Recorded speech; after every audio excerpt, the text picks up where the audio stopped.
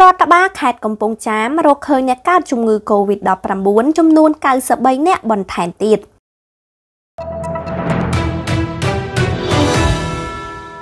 រដ្ឋបាលខេត្តកំពង់ចាមបានប្រកាសអំពីការរកឃើញនិងបង្ហាញនៅអត្តសញ្ញាណអ្នកកើតជំងឺ Covid-19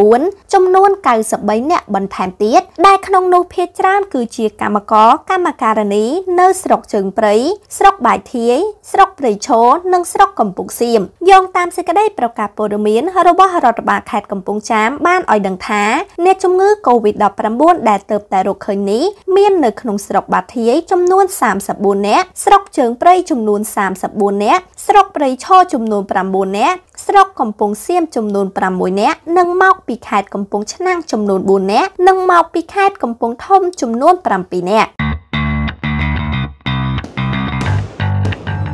មកឈឺក្បាលអញ្ចឹង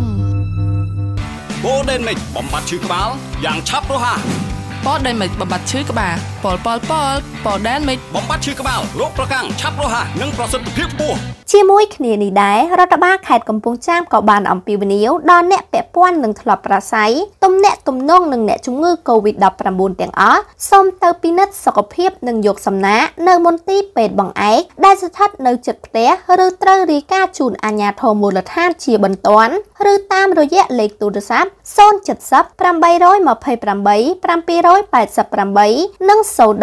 736 755